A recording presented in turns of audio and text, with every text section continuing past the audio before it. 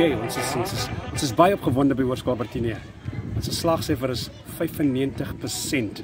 Ons is opgewonde en van ons leerders het dit nie gemaak nie.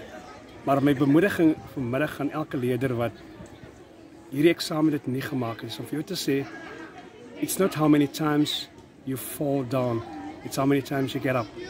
Staan op. Stof jou af. Hou jou oë gefokus op die Here.